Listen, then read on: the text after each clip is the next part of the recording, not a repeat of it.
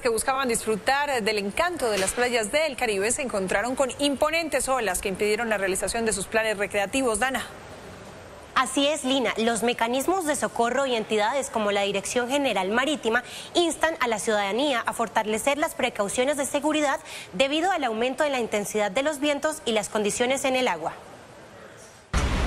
La Dirección General Marítima de Cartagena reitera su compromiso continuo con la reducción del riesgo, el conocimiento y el monitoreo del territorio. Tenemos eh, una ola muy energética con unas alturas que sobrepasan los dos metros.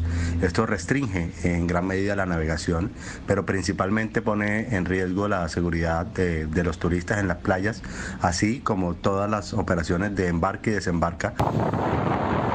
Estas condiciones que afronta el territorio se ven influenciadas por la interacción entre un sistema de alta presión ubicado al noroeste del Océano Atlántico Norte con el sistema de baja presión del Darién. De igual forma, se observa la presencia de un frente frío ubicado al noreste del Mar Caribe, el cual favorece el incremento de vientos con velocidades con intensidades de 12 a 24 nudos. Cabe destacar que como consecuencia del mar de leva se ha registrado un fuerte oleaje que ha llegado hasta la carretera en zonas como el centro histórico y el rodadero. Este fue el comunicado emitido por la Dirección General Marítima. Dado que dichas condiciones ponen en riesgo la integridad de bañistas en las playas, con el fin de garantizar la integridad de la vida humana, se ordena el cese total de actividades de transporte de pasajeros con destino de playas y aquellos donde el embarque y el desembarque de pasajeros se realicen en zonas de playa.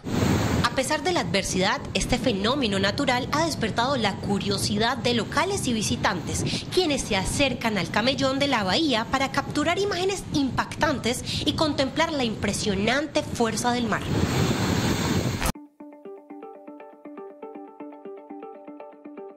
Suscríbase a nuestro canal de YouTube, active la campana y no se pierda las últimas noticias.